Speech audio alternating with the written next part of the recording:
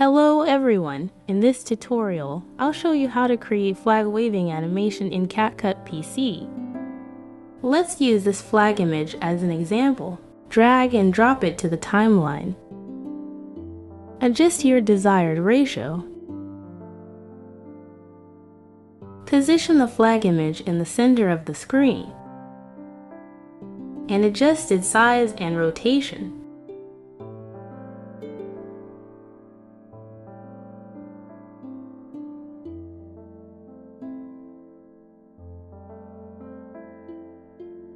Next, copy and paste a new layer.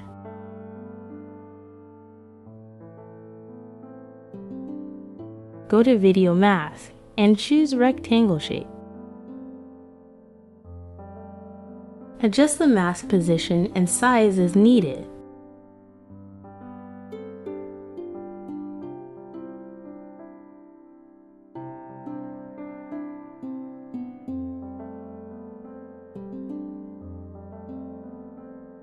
Click on the first layer,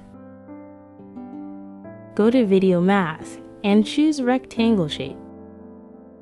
Hide the second layer.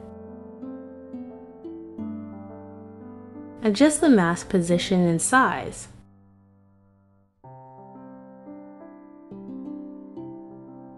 Next, click Reverse. Click Show First Track.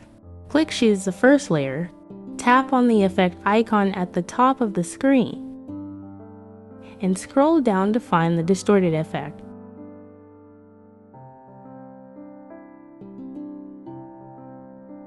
Click to download first when using it for the first time.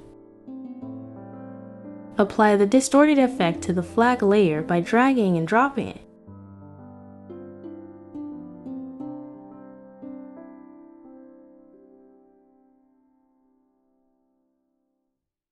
To enhance the effect, select both layers, right-click, and choose Create Compound Clip.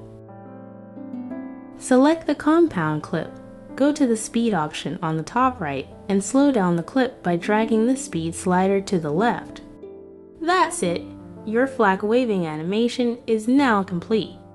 I hope this tutorial was helpful to you. Please give this video a thumbs up, share it, and subscribe to our channel for more tutorials Thanks for watching.